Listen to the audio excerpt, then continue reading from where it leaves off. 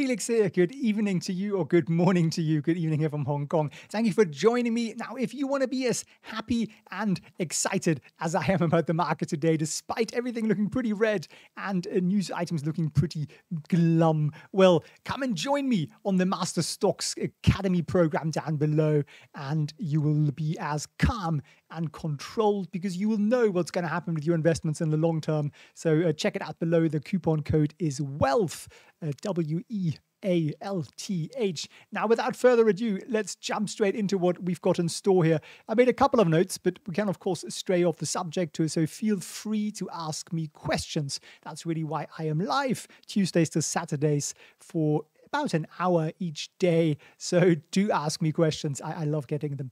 Now, the first thing is, of course, the headline is this this sort of bull trap situation. What does it really mean, bull trap? It basically means we get a sort of false hope that a sell off is recovering. And in fact, we are not really. So you get a little bit of a spike. Everybody gets excited. Everybody starts buying too early before the technical indicators tell them to because they think uh, things are turning around and then things go the other way. Now, why might that be the case? Well, we've got a couple of. Um, not the happiest of news, uh, but don't worry, there is some really good news in here for Palantir, especially. One, we have a new COVID strain out, and it's discovered in South Africa. It's in every uh, borough or whatever they call it in South Africa, in, in every province. It is also in Congo, in Mauritius, it's in Switzerland, it's in Portugal, it's in China, and it has the same characteristics as the Delta strain, but apparently it's mutating faster and it could be more infectious. So, glorious news, hey, uh, for all of us who are rather tired of the COVID story. There does seem to be another leg to it. So, that's something the market is going to have to digest. Now, that strain was first discovered in May when it was sort of a very isolated case, but now it seems fairly rampant and it's spreading around the world, much as co- as the Delta variant did in the previous ones. So the market's going to absorb it. Why? Because uh, Palantir, sorry, uh, Bloomberg is talking about it, uh, and therefore I think everybody who's reading and following financial news is going to be looking at this. So this is something that's going to concern some people. Uh, and I can totally understand why. And so you have to kind of look at those COVID trades again, and we can discuss that. Now, good news. Let's let's sort of have some happy news here as well. Palantir got two massive contracts extensions today. And this is not your one or two million dollar contract. These are big, juicy contracts from the Air Force and also from the NIH. And these are big ones. And I think these are contracts for life. I call them lifers uh, because these are going to stick around. They're going to be there every year. They're going to get extended every single year and they're going to get bigger every year. And that is what we need to uh, get Wall Street to understand so that they really move Palantir stock. But I think Palantir is, is on a really good trajectory here in terms of technicals as well. So I'm looking pretty bullish on that. We're going to look at some NIO numbers. The NIO uh, registrations for the last seven months compared to who they say their competition is, which is BMW, Benz, and Audi, and they really kick their backside. So that's a big story. Now, there's of course also the big story here. I've got Bloomberg open over here, uh, which is uh, last flight out of Afghanistan. Uh, that is, of course, something that isn't directly related to the financial market, but it is a sentiment issue.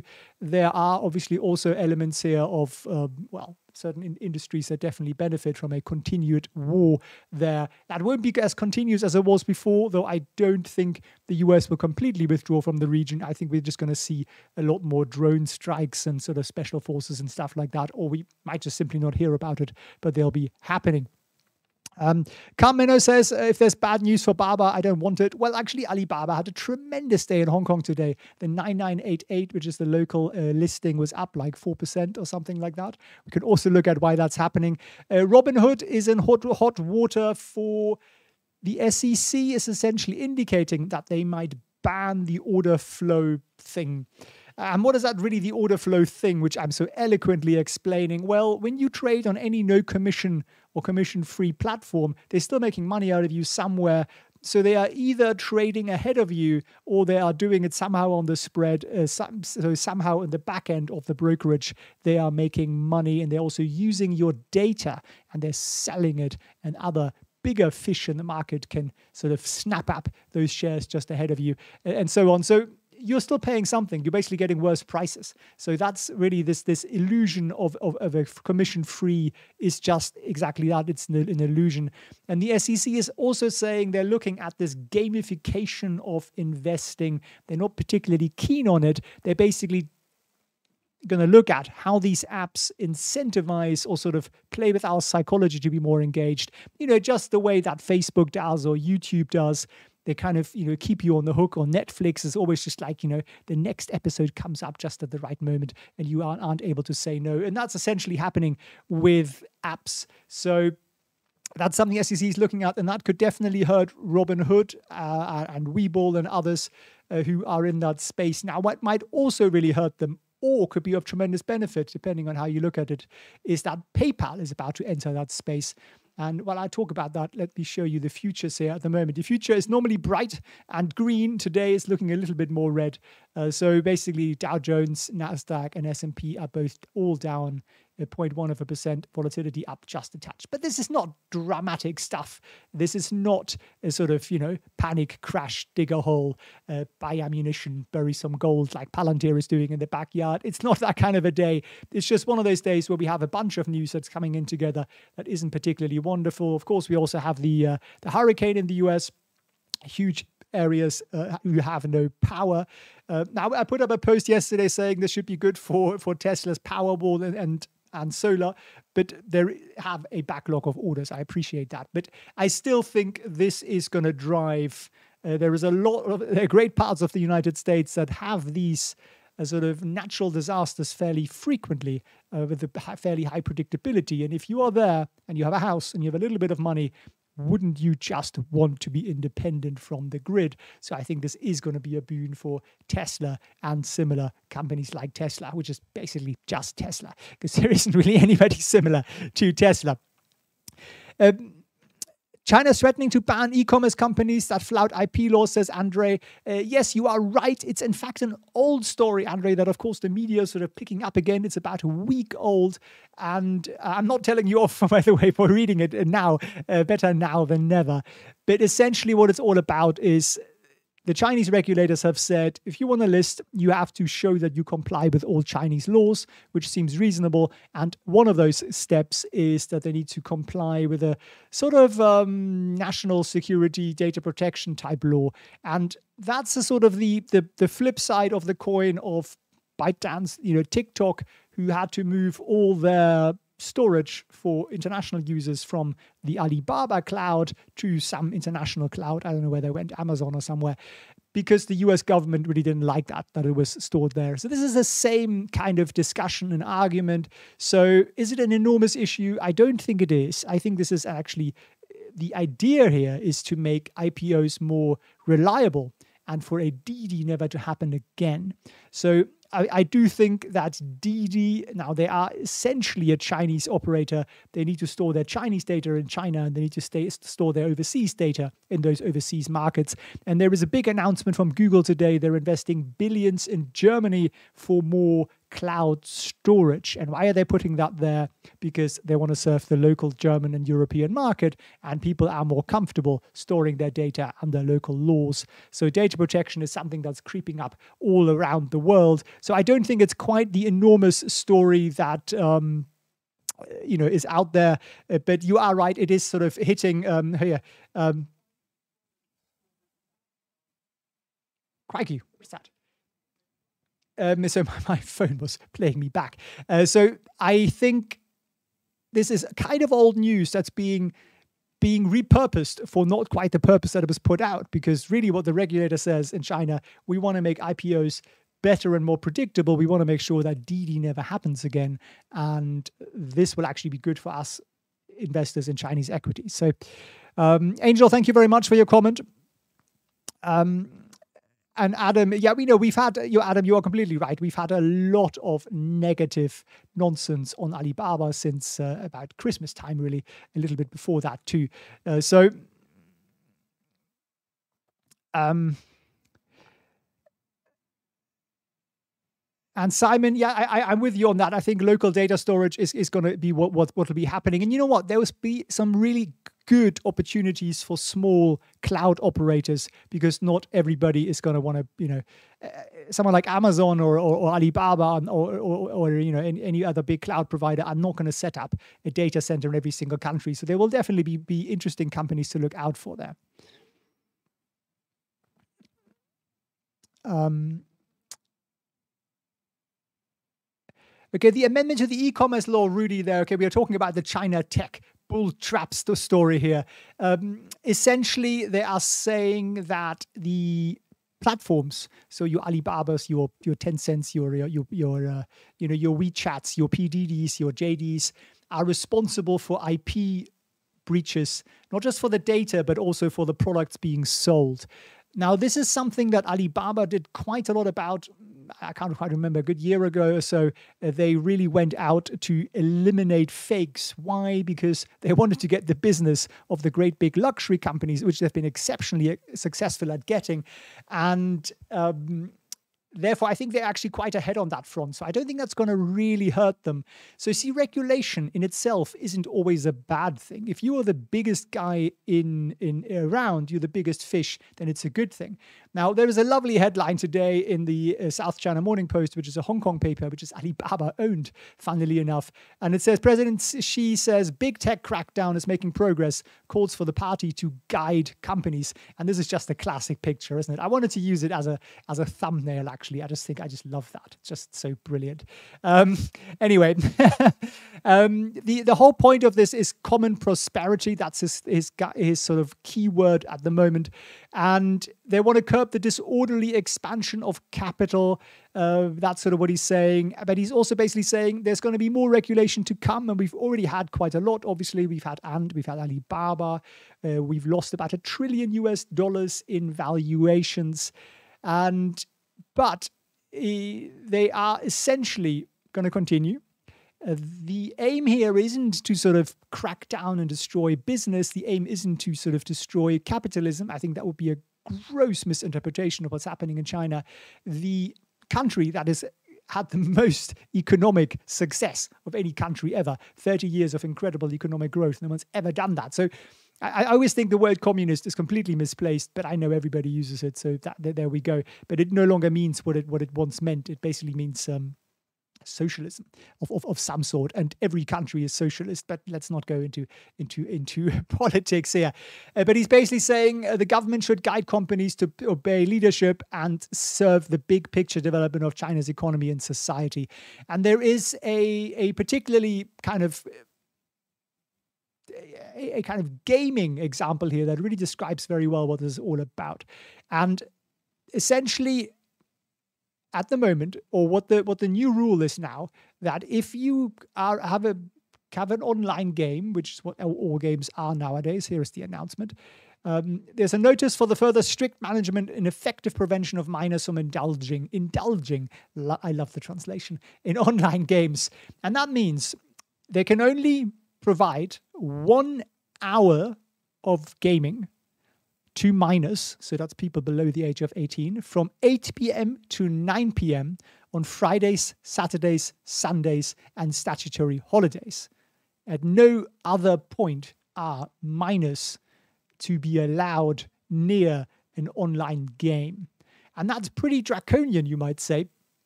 And I, I, would agree with you on that. That's a pretty extreme case of regulation. You know, you might think it's a nanny state. But if you step back from a moment without your investor hat on, there is probably some benefit in that. I mean, I think if we got rid of television and games, uh, these sort of streaming type games, which are again designed to be addictive, right? Uh, they were addictive in my youth, but imagine how addictive they are now. Once you know people have really spent a lot of money on psychologists and so on. So yeah, it's not great for Tencent or or uh, Bilibili or these kind of stocks. Definitely not but it might actually serve a longer term purpose. Now, most great entrepreneurs uh, uh, do not really watch television. They do not play games uh, because they want the time to do something more interesting with themselves and they want to think. And when you're playing a game, there is an element that it can be not harmful. I agree with you on that. I used to play computer games when I was much younger, uh, and some of them are, are quite intelligent, uh, but the sort of first person shooter type thing probably isn't all that intelligent, though it can be fun. I appreciate that. But this is, this is kind of what's happening. So expect a lot more of this kind of regulation that we might think, well, that's kind of crazy, isn't it? Why should they do that? Isn't that for parents to do? Well, very hard actually for parents to police this. So here the state is doing that. Um, Somebody says, uh, did I miss the new news? No, no, we'll get to that in just a second. But Downton, thanks for tuning in. It is crazy stuff. it, it is. It, I mean, you kind of find it hard to believe until you actually read it.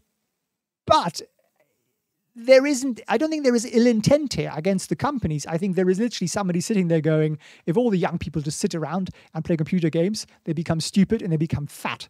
Uh, so let's do something about it. And most people in the world would say, well, let's encourage them to play football or games or something, you know, I mean, outside, you know, to do that sort of thing through schools, perhaps. And they simply go, no, you can only play computer games between eight and nine o'clock on Fridays, Saturdays, and Sundays, uh, and on the occasional statutory holiday. So, uh, in, in, in, insane in a sense. But is it, you know, I don't think there is a sort of bad intent here. That, that's the sort of the way I look at that. Um, uh, First Seven says first person shooter games improve perception and cognition. And I agree with you on that. I do think there are a lot of very intelligent games that teach you a lot of things and, you know, you can learn very quick uh, reactions and those sort of type things. But after hour four or five or six, it probably drains more creativity from you than it is it is is giving you. So it's not banning games; it's just limiting them very very severely. Um, Lily thinks it's a funny regulation. It it is just sort of a yeah, I mean, it's a bizarre one. That's why I screenshotted it because I couldn't quite believe it when I read it. So I thought you might not believe me either. Um, uh, Desmond, good evening to you. Okay, you, you're saying there basically there are issues around with minors and addiction. Also, bear in mind a lot of these games require in-game purchases. So there could also be financial problems here that you know minors are, are getting into debt and so on. So Cyrus, thank you very much for for joining. Um, and Kevin, yes, I think you have a point with social media platforms. We've already seen that with with uh, with Tencent, uh, the WeChat platform for uh, their for for sort of minors again that they have. Uh, they are taking them to court over it. So again, they're really really cracking down on that. And they did one of the key things also with you remember the Ant Alibaba story was that and was lending money to students, whether they were school or college students who had no income whatsoever, and they could get into debt to, to the tune of many thousands of US dollars. And the government was really put off by that one because there is some responsibility. I think there is some responsibility with for companies to kind of rein in what they're doing, but uh, no no rational company would of course limit the use to their to their product uh, to just an hour a day. Uh, but so what we're going to see, we're probably going to see uh, game launches delayed. I think we are going to see a whole range of new games being developed that people can enjoy in a very very short period of time because there's no point in playing some sort of strategy game that takes uh, you know 300 hours to get through if you can only play it for three hours a week. Uh, that's not really going to catch on. So there'll be a lot of changes in that sector. It's not going to go away. Um, uh, and Simon says minors could use their parents' phones. Okay, they, they certainly could. Uh, you you are quite right there, but then it becomes a parental issue. Uh, it, it, you know you can't. Well, you know they obviously are trying here to to kind of micromanage, but you, there's only so much you can uh, micromanage. Um, and First and Seven says, I'm pretty sure uh, not all parents give their cards to kids. And also, you're saying that the revenue from minors is only 3%. Uh, that's a very interesting statistic. Thanks for showing that out there. Um, uh, Lily is saying some funny things here. Um, and Pascal, yes, of course, offline games, but they are not really the the, the, the trendiest. I mean, all the uh, the sort of people I know below below uh, substantially below the age of 18 they play online stuff they like to play together like to compete and that kind of thing and I get that I mean in my days you had to have a had to have a cable and connect two computers together which was obviously the the, the dark ages I mean when I was you know the dinosaur times when I was around but it, it is just a lot more fun, isn't it, with more people around. So, um, now, what else have we got here? We talked a little bit about the China uh, tech issues. Basically, regulation is going to continue. Uh, does that mean one shouldn't buy any tech or Chinese stocks? my view on that is uh, I think one can nibble continuously. So, say nibble a little bit once a month. Uh, just bear in mind that some of those companies are going to get really, really hit. So, diversification might be a good one. And I think targeting some smaller companies might be a good one. And I have, I have in the past uh, shared some of those ideas with uh, with our uh, Patreon group here, Discord group. If you go into the Chinese stock sector, I quite often share things about lesser known stocks. Um, I, I, can't pull one up here right now, but there, there are definitely articles, and I'll keep doing that because I think it's the small stocks that will actually benefit from this because they haven't got any of the antitrust issues. They're not big enough to really be affected by a lot of the stuff. And in a way, the government wants more. They definitely want more competition. Uh, President Xi said today that the antitrust regulation is making good progress. So that's definitely the, the direction things are heading into. Now, uh, let's talk quickly Palantir and then we'll talk NIO because both have some interesting news. So, Palantir, I shared earlier today with you guys on the Discord the NIH contract and the um, Air Force contract. So, if you're not yet on the Discord, what are you waiting for? Will you join our Patreon link below. That'll get you there. It'll cost you 50 cents a day because I want to keep it small. I want to keep it kind of tight. I want to keep it to people who are interested in contributing and researching and sharing and discussing. And that's what we're doing over there. So if that sounds interesting to you, it's not a Reddit channel. It's very, very different because we're actually debating things, which I truly appreciate. So thanks to everybody who's over there already. So there are two great, big, beautiful beasts of contracts. One is the um, NIH contract and that is an extension. But it isn't just a small little extension. It takes the contract value from 36 million to 40 to 60 million rather. So that's 24 million dollars extra for um, an, extra, an additional year. So you can therefore also see that the setup fee they paid Palantir was 12 million. Uh, in year one, they're paying them 24 million on top. In year two, they're paying them another 24 million.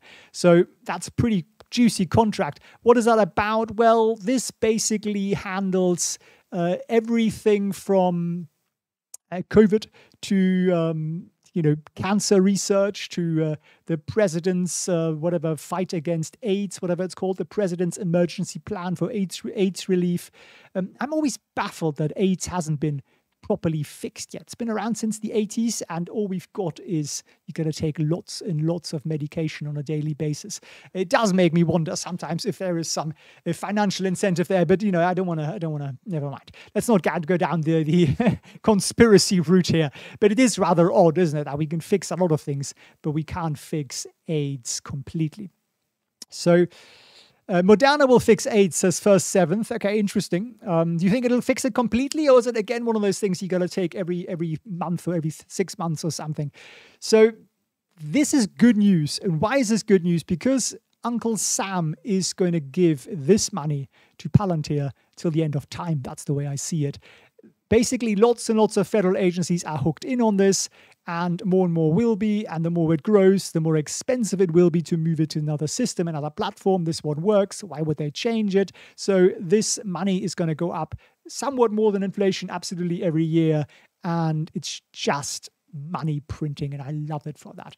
Now, then we also have this is really, really exciting Air Force. In fact, I had a little um, this is not just Air Force, but this is also Space Force. So if you want to see a little Space Force video, here's a lovely little Space Force video. So this is the contract which you might have heard about earlier in the year. In uh, May, I believe, or April, they were awarded uh, 32 million, I think, 32 million for Project Brown Heron. Uh, and that was basically to ingest and digest all the Air Force data out there and encourage you to click that like button. kidding, kidding, kidding. Um, and getting all those data sources together from a maintenance point of view, from a equipment planning, health of, of, of, employees, and of course also operational stuff. And within that contract, they tucked something in because I think they didn't want the world to know exactly how much they're spending on Space Force. So within that contract from um, the end of April is also the basically situational awareness and command and control capabilities at the National Space Defense Center. In um, and that's interesting, I think, because that's, of course, satellites and all those things. There was a beautiful video out by Palantir a week ago. So if you haven't seen that yet, check out their, their um, YouTube channel. And now they've increased that by 48.5 million. So hang on, only five months ago, Palantir got 36 million. Now they're getting an extra 48 million. Is that a happy customer or is that a happy customer? So this contract is now worth $91.5 million. And um, this is basically, as far as I'm aware, this is for two years. So I think this basically extends this uh, till till next year, if I'm not entirely mistaken. So uh, this is. Um, yeah, fantastic. And it just it means more Air Force money, more space money. So this is good news, right? And actually, somebody shared in our Discord group that I haven't read yet, SML. Uh, thank you very much. You shared this as the next AI campaign. Um, loading, loading, loading. Okay, we'll let that load for a second. Uh, I think this is more US expansion into the AI space. Um, okay. Um, sometimes I can't open US military sites because I'm based in Hong Kong, and that obviously makes me the enemy. So uh, sometimes those links don't work unless I use a workaround. So this is pretty exciting stuff to me. Uh, lots and lots of money uh, flowing in here from these Space Force chaps. And Palantir is a has had a really good story. I, I would say we have moved very substantially I should really make this a green arrow because it is a positive move. We essentially moved from uh, down here in the sort of uh, 22 $23 into very solidly into the $25 range. And even though today, pre market, we are down just a touch, uh, I wouldn't worry too much about that because we are nicely in this uh, positive trajectory up here. I think we are going to crawl up towards the 30s again. I do think it's going to be a crawl because the so called smart money, the big Wall Street guys still don't like Palantir. They basically shrugged off the great earnings and they went, well, yes, that was really good, but can they do it again?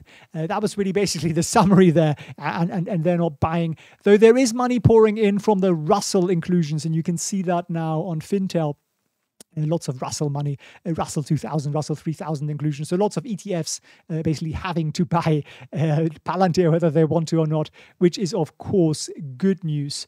Um, I do actually have, if you're a Palantarian, uh, there is a free thing I created for you. Uh, you can go and download this. Let me show you what the link is for that. Um, where did it go? It's here somewhere. Um, it's um, okay. I'll, I'll write it out for you. So the link, if you want to download something, is felixfriends.org slash PLTR.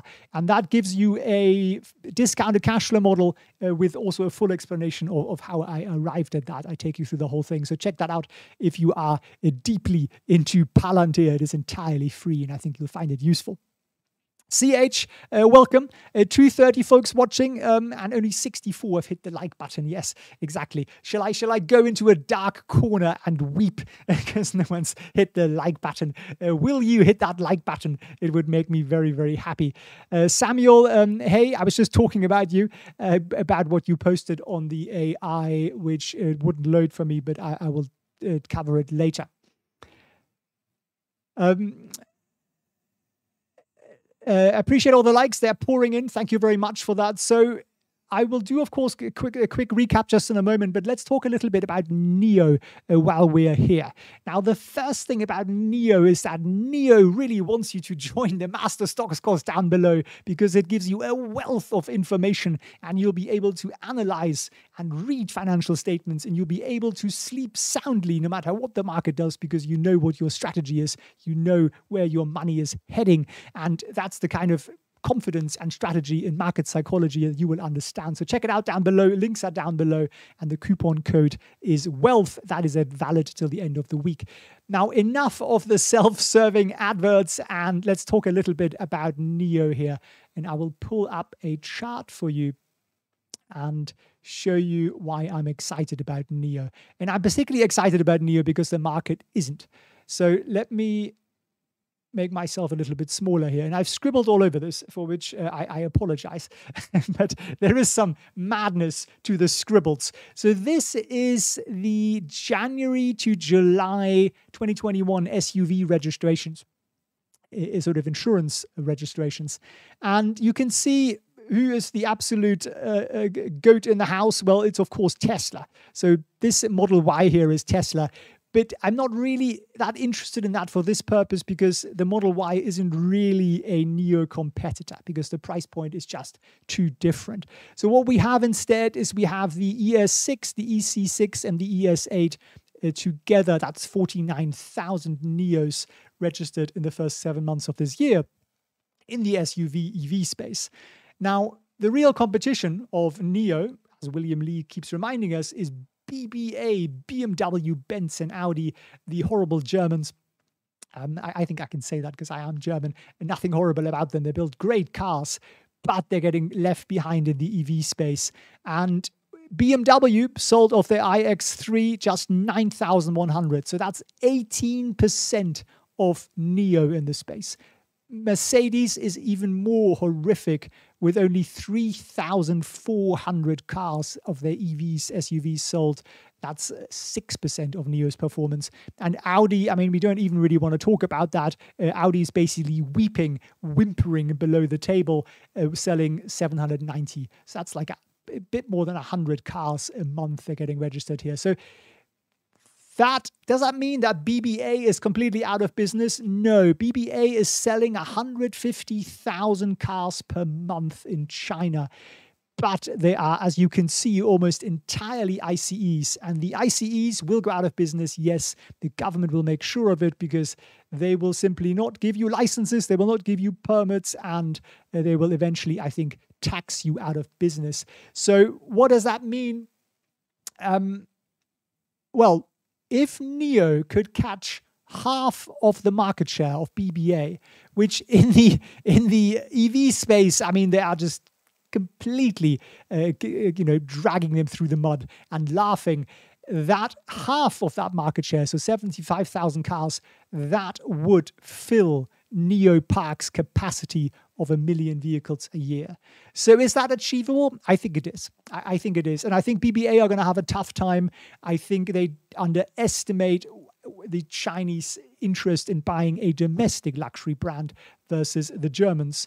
And unless they do some real magic there, the Germans, they are going to be seriously left behind, as they already are. I mean, look at this chart. This is appalling. And this is without NIO having any sedans. So we're not looking at the sedan comparison here, but we will be able to do that next year as well. And I think it's going to be a similar story. So I'm actually very, very bullish on NIO. And the market doesn't seem to get it. And actually, I quite like that. I like being the contrarian in the room. It makes what I want to buy cheap and I can nibble at it every month. Now, another bit of news is here. Uh, well, you've seen battery swap stations, right? We've all seen them now. Is it exciting? Uh, you know, is, is it exciting that we are seeing a box here? Well, how many did they build today? Tuesday, 17. They launched 17 battery swap stations today in one day. And since Saturday, they launched 36 battery swap stations. So these guys have put their mind to it. They now have the partners uh, with Sinopec and many others. All those deals we were discussing at the beginning of the year when people were saying, well, what does it mean? Why is it important?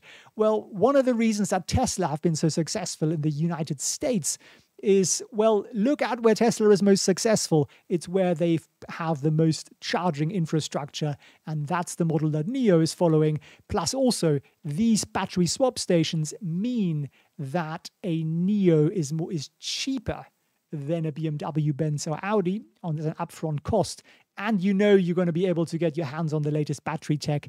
And you really know when you're buying an EV that in, say, 18 months, you're basically driving around with your grandma's battery, right? It's just not what you want to be driving around with. And the advances in battery tech are going to be, basically, I'd say, like like computer chips in the 90s, where you saw that, I don't know, every 18 months it doubles in capacity or speed. That's essentially what we're going to see, I think, with batteries. So this is going to be an issue. And on a side note, there, um, Tesla is rumored to be using CATL for their uh, US build um, Teslas going forward. There is apparently a big, big contract there in the offing. Um, and uh, Desmond says it's crazy, 17 in one day. Absolutely, it is. And I mean, people were saying, well, how are they going to get to the, the 500 or the 700 at the end of the year? Well, if they're doing 17 a day uh, and 36 over the weekend, including these 17, uh, you can see how they can quite easily get there. So uh, they are busy. There are some people who are really, really busy installing these battery swap stations. And also bear in mind that each one of those is basically a massive billboard, right? If you just look at the way these are built, they look very swanky, they look lovely, they've got a great big NIO logo on them. Everybody sees them, everybody knows it's a NIO, so it's a perma billboard on top of it, so there is some marketing benefit in here as well. Um, First, seventh. Um, so Tesla is using the BYD Blade battery, uh, I think, for the Model Y in China. But apparently, the rumor is, and this is, I think this comes from Deutsche Bank, they are saying that for, for the US, they're going to use CATL. Uh, and there are obviously some issues with uh, Korean, some certain Korean batteries. I think it's LG, right, who uh, keep keep going up in, in in flames with with GM.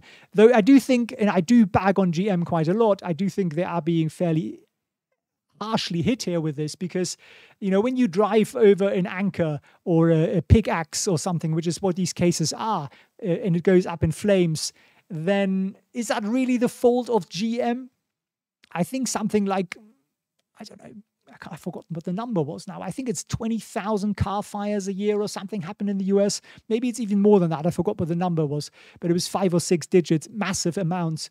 And none of those make the paper, right? No one goes, well, we should ban ICEs, we should sue, you know, whoever.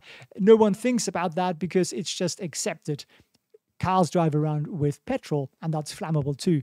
So I think really we need to look at each case and, and, and not just sort of, uh, you know, beat up uh, poor GM over this. Um, uh, first seventh, okay. He, he, I, am not going to put any money into GM or Ford. I think Ford is possibly worse than GM uh, as a as a stock, but I, I, do think it is harsh on them. Really, the mistake isn't theirs. The mistake is LG's.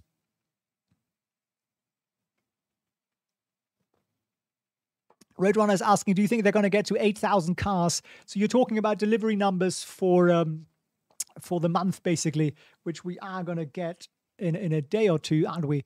Uh, let me pull this up here on our.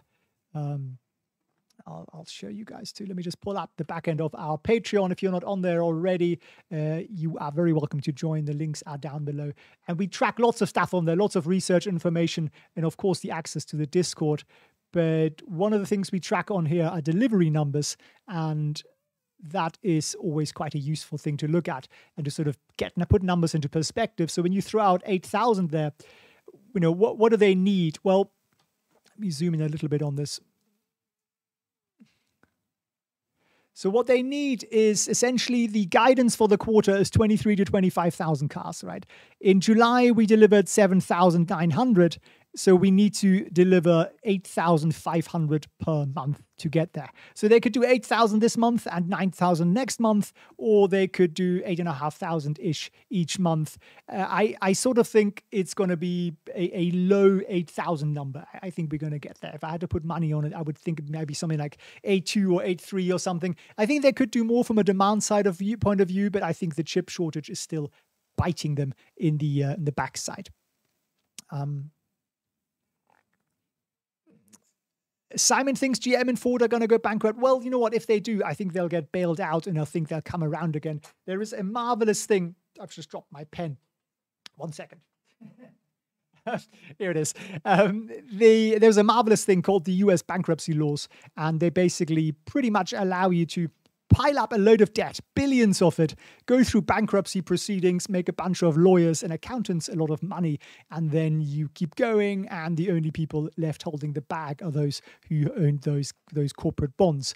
So they take a haircut and then they're back. Uh, and it's all in the sort of interest of uh, preserving employment, but really it's a bit of a racket, uh, that whole system. So I think even if some of these big companies like Ford and GM do go into financial trouble, I think they are just going to keep piling up more debt in the process. And one day they're just going to write it off and they're going to be like, huh, we're back.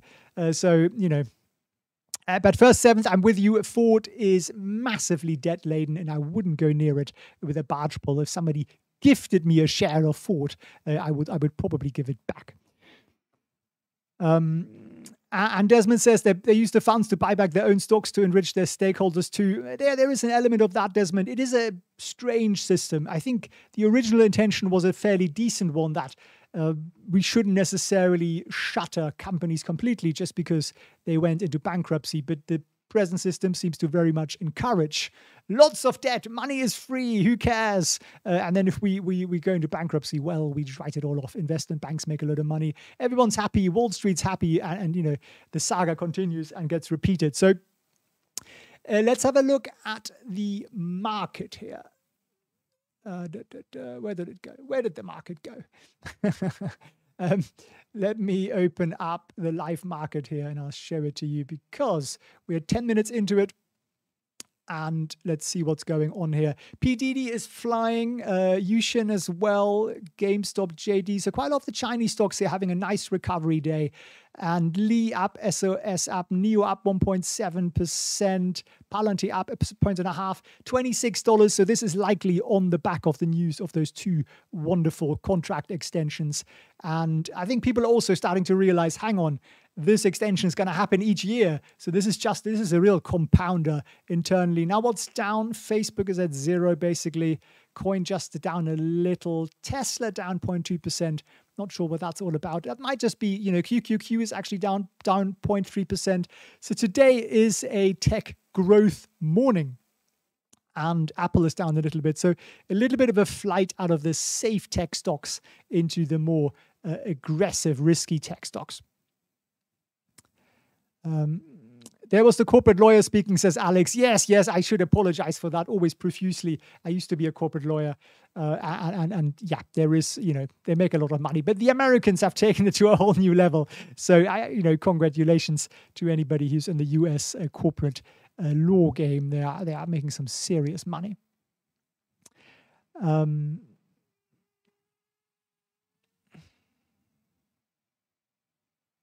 Verse 7 says you don't get Li. Well, Li is reasonably successful, right? They are selling quite a lot of uh, cars in China. They have a good reputation for building a sort of um, low cost, reliable product.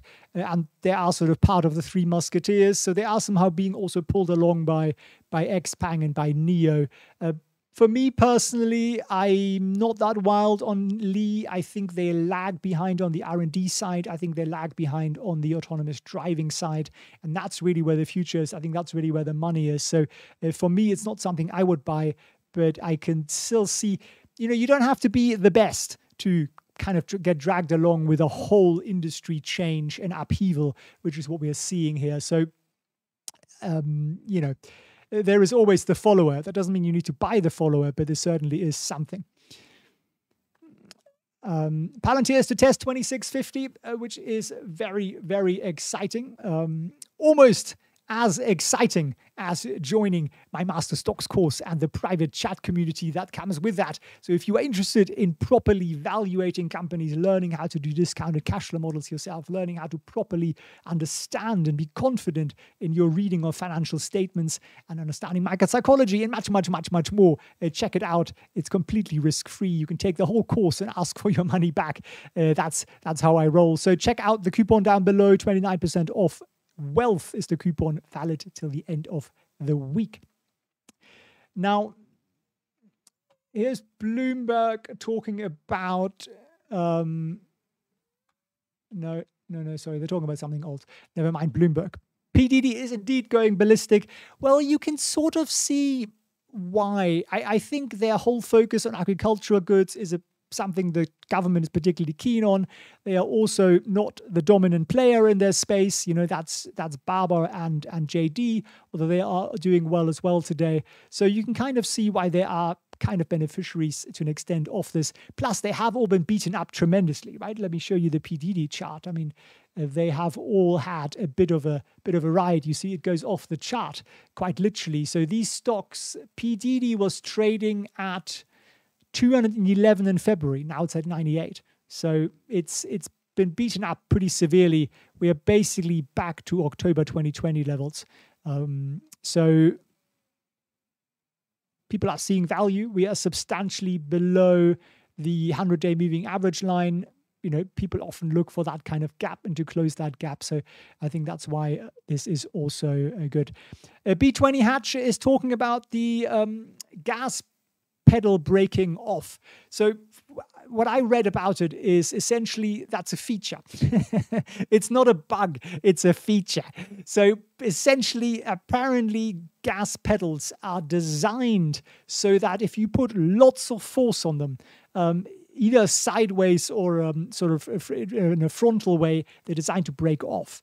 Because in an accident, you and your legs lurch forward. And if there was a completely uh, fixed steel thing down there, it would break your leg. So the intention is for it to actually fall off. Whether or not that was really the explanation here, I don't know, but that's basically the explanation that, that NIO has been floating around. Um, um, Mikhail says you have to buy one, a hold for a year now, Baba, NIO, or Palantir. Well, does that mean I have to sell it after exactly one year? You see, I would never do that. I would always buy things and aim to hold them for a much longer time horizon than a year. Uh, unless there is some real technical, like irrational sell off, and I may just want to take some profits. But most of the time, I buy things and I want to hold them for, for sort of near forever, uh, which is a sort of five, 10 year horizon at the very least. Um, uh, Desmond, okay, you you agree with me there on that on that um, uh, brake, uh, or rather the accelerator. Yes, I hope the same doesn't apply to the brake. You wouldn't really want the brake to fall off now, would you? The accelerator isn't necessarily such a horrible thing. Uh, you just have to sort of coast to to the side somewhere. But I don't know how they how they managed to do that. Uh, I, have never managed to break that off in a car, so it could be a could be a bug and not a feature. Um, uh, Mikhail, okay, which one? All right, okay. Mikhail is saying if, if I could buy something right now and hold it for the long term, would it be Baba, NIO, or Palantir?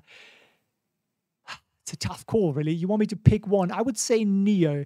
I think the imminent story change there is the greatest because we're getting two sedans next year. We're getting massive capacity boost next year. We have restrained supply of all the competitors because of the chip shortage. So I think also what they've created with user engagement and user loyalty and and uh, research and so on is is better than what say BMW, Mercedes, Audi have managed to create. So uh, I, I, would pick that one. Um, I think if Felix had to pick one, it would be PayPal, says Desmond. Well, you, you, you know me, Desmond. I, I can never resist buying a bit of PayPal. And speaking of PayPal, Desmond, you see you got me off on one now. Is uh, PayPal is rumored to be entering the sort of Robinhood Webull stock trading app space and we can already uh, trade cryptos in some form or another on PayPal. Apparently, they're going to launch that in the US. Now, they need a license for that, and that might take them something like eight months to get. So, the rumor is that they're going to acquire something. So, there could be some real money in some of the probably the smaller brokerages that have a license. So watch that space. They've hired some really smart people for that. I might well put out a video on this because I think it's quite an interesting one. And this is going to turn the heat up on Robinhood as well because PayPal is unlikely to follow the same business model given what the SEC is saying here. Um, uh, and the Drogba says there are no competitors to Palantir. They're in their own space. And I agree with you on that completely. Uh, I don't think there is anybody out there, and I would be happily buy Palantir any day. Uh, it's just we were talking about a one year horizon. Palantir is going to shine, I think, after one year. Uh, I think it's going to take some time to really convince people that. Um, it's happening. And then we've just got the Chicago, um, the Michigan uh, Business Index in at 66. It was estimated at 68. Okay, so sentiment is still a little bit worse than people are hoping for. Uh, and the US 10 year yield has just come down a little bit more as well, which is good, I suppose, for us growth stocks because it just means the whole inflation story isn't really an issue. Uh, Wasim, can PayPal buy SoFi now? Wouldn't that be lovely? They could. It's um, is it likely? I mean, if there is somebody out there who's a bit smaller and a bit cheaper, I think PayPal is more likely to do that because they'd be buying them for the license. Um, and SoFi is trading at 11 billion market cap, so they'd probably have to pay 15 or something like that. So that's even to PayPal a, a, fair bit of change. So I think they would look out for one of the smaller, less successful brokerages who have the license in place and simply acquire them and save themselves eight months of regulatory uh, hassle. I think that's really the, the, the key attraction here. Um, Mikhail says, no competition to Palantir is losing money for 20 years. Okay. Uh, I think we can take the joke. Um, now, let me do a quick recap here of what we were talking about. Let me pull up where we started so that we remember somewhat what this is all about and make, make myself a little bit smaller here. So we've got a new COVID virus discovered. That sounds like a good thing, doesn't it? That sounds like, oh my God, we discovered something. We discovered life on Mars. No, new COVID variant, uh, apparently starting from South Africa, though the World Health Organization will undoubtedly assign it some Greek letter so that we won't know where it came from in case that we hold the South Africans responsible, which I don't think anybody sensible would. Uh, but yeah, that's the way that's going to go. And it's apparently has similar traits to the Delta variant but it mutates faster. So it could be significantly more contagious and infectious. And it's already in uh, in South Africa, it's in Congo, it's in Mauritius, it's in Switzerland, it's in Portugal, and it's in China. So it'll be in a place near you soon coming to cinemas near you. a new COVID variant. So uh, that's, of course, going to be a whole new story then about which vaccine will be how effective against that and so on. And um, Desmond thinks we're going to run out of Greek letters soon. Well, there are quite a few. I don't know what they're going to do afterwards. Maybe they start going around and they're going to call them, you know, Alpha One or something. Um, COVID is like the boogeyman says, end the drug war today. Well, it is a. To the, to, I've spoken to some doctors about it here, and they're basically because here in Hong Kong, we had SARS, right? And a lot of people in the rest of the world didn't realize that if you weren't living in Asia at the time. But it was sort of like a mini COVID that was very serious at the time. It killed a few hundred people, and people got very terrified of this. And COVID is a SARS virus, so it's a similar thing. But they were all saying that COVID, the doctors I've spoken to, uh, but when I say they, is just it mutates much, much, much faster and it's much more contagious than that SARS virus was, which is why it's sort of taken over the world. And um, they think it's going to keep keep mutating, basically. Uh, so that's kind of part of the challenge. Uh, the, the, there will be a race to more vaccines, be good for Pfizer and so on, which ARK have been buying. They've been buying Pfizer, whereas Buffett has gotten out, or more or less out of the pharma game, because they obviously think that the um, a virus that mutates faster sounds like a fun treatment skill. I know it's all it's all about spreading happiness and joy here on our calls. It's all good news. Um, so overall, the market is down somewhat, but the real growth stocks are actually doing quite well. Uh, Paul is asking, how do you think Lucid will perform in the US compared to their peers? I mean, it really depends on the quality of the product they put out, right? If they put out a good quality product, even if it is a little overpriced at the beginning, I think American investors and I think Americans will lap it up because there is very limited choice really in the EV space at the moment. And the pure EVs do have a huge advantage uh, that uh, you don't have to deal with all the legacy nonsense. So, um, uh, has Warren said why he sold PFE? Says Alex. No, but I think it's fairly obvious. I think all good value investors buy something and then when it gets to a level where price levels are really very elevated they get out of it because they've taken probably the majority of the gains and they're just happy to put it to something that's becoming more more predictable. And you know we already know they're selling a ton of vaccines they're going to sell booster shots and so on. So there this is kind of priced in. So there is a risk that COVID might simply disappear, in which case valuations are going to come back down, or that maybe governments are going to start haggling a bit better and not just pay any price, or perhaps that they might push back on the um, sort of the, at this point, insur- pharmaceutical companies have zero risk for the vaccines, right? The governments 100% take on all the risk and all the claims all around the world. So the pharma companies are just saying, I'm selling you this to you at whatever price I, I determine, and you got to pay up front, and I take no risk. It's a great business model. I mean, it's the best business model since drugs really. I think I think you know um, opium. Uh, that, that that was a similarly great business model. Uh, so this is kind of what what Pfizer and Co are doing at the moment, and that isn't going to last forever. At some point, uh, some lawyers in governments are going to go. Do you realize that we are underwriting all claims and all risks, and these guys just made 20 billion? Uh, so you know there is going to be a bit of a bit of a pullback on that, I think. Um, Uh, any thoughts on SoFi? Yeah, it's not moving all that much, is it? Um, that's kind of the problem with it, really. Is let me pull it up for you. Is that whoops? What did I do here? I didn't mean to do that. okay, I press a button and a video starts playing. So SoFi, here it is. Wow, I really went to town with my annotations there, didn't I? Uh, yeah, I did. So it's kind of limping sideways, and that isn't a bad thing. Uh, you know, we kind of want to establish this $14 as a real baseline. So actually, if we hit this point a few times, I'd be happy because at the moment we are still on this falling knife situation.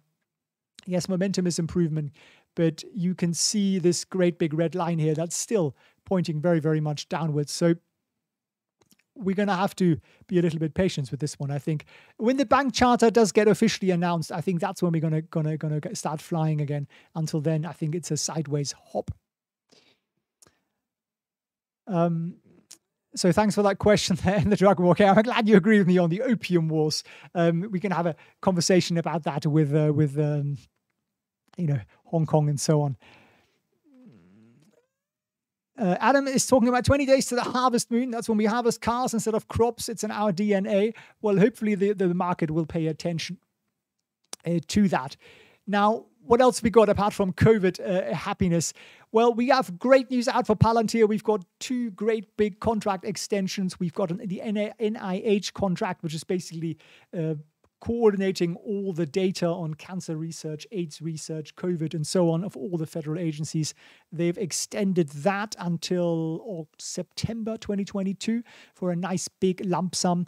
And on the even more exciting is the Air Force contract from April just got extended by another 40 odd million. So that's pretty exciting because those contracts are just going to keep rolling. They're going to keep getting extended. They're going to keep getting bigger. And eventually, the smarter analysts will realize hang on, why on earth would Space Force change their operating system? You know, a couple of years, years into it, with a massive risk that you know they might lose a satellite or something, or something won't work. It's just not going to happen. These contracts are pretty much for life. So, um, and the drug war is taking the mickey out of my coordinating all the data. Uh, indeed, that's what they do, right? That's that's the that's the technical description for it. So this is very good news for uh, for for Palantir, and Palantir is sort of flying a little bit on that news. Um, uh, end of the drug war. You basically think the SPACs could bring in 500 million in contracts over time you know what? They could. There is of course an element that you invest in 10 SPACs maybe nine go out of business and one becomes google right? That's also another way of looking at it. So some of those will work some of this will not. In the short term the revenue from that is pretty modest. What i'm more excited about is actually that they're in the boat with lots of smart people who are intending to disrupt industries. And Palantir will be there from the very beginning. They'll have those conversations and those meetings, and they'll be driving the software for that. So when those systems become mainstream, say, like, you know, um, air taxis, for example, Palantir can say, yeah, we, we power the guys that, you know, run 40% of all the um, all the aerial drones in, in the US. And we are the ones who basically made it happen.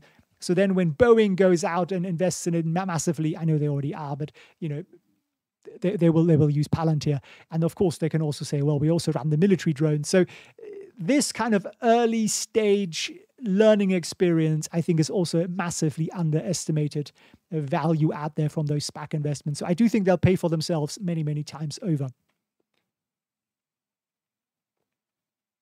Um, we also have um, some NIO data out. We looked at the NIO January to July data, which just shows that they are so far ahead of for SUV EV sales from Mercedes, BMW, and Audi, that those three are really getting left behind. So that's a really interesting story. If you think that BBA sells 150,000 cars a month in China, if they're going to lose a big percentage of that market share, which I think they will to NIO, uh, NIO will be laughing to the bank, as will the, be the shareholders.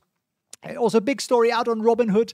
Uh, potentially, there could be an order flow ban coming from the SEC. So, this very strange way that Robinhood and also many other brokerages, we should add for fairness, uh, provide commission free trading is that they're sort of you know you do something with the order flow or they trade ahead of us or they sell that data and that is still costing you money it's just not very obvious so is it a good system? Is it a bad system? Uh, who knows? But the SEC might come down on that with a ton of bricks or like a ton of bricks. And we also have PayPal rumored to be entering that space. We now have PayPal Invest, a new subsidiary, or rather invest with PayPal. And they've also hired some smart guys from the sector. So I think I might do an extra video on that one because it's an interesting story to dig a bit deeper into. Um, China is talking about more regulation, and lots more coming in. We've got a fairly um, odd uh, piece of regulation that minors can only play online games between 8 and 9 p.m. on Fridays, Saturdays, and Sundays. And I'm not making this up. This is actually the regulation. So there's some pretty uh, intense stuff coming there. And there will be more of that. And I think people investing into Chinese equities need to be aware that there are going to be these. Um, fairly detailed and specific pieces of legislation coming out over the next few months and next few years. Does that put me off Chinese equities completely? No, actually, it doesn't. I think it op- op- opens up some serious opportunities, but be prepared for some massive volatility and possibly not making significant money for quite a long time to come.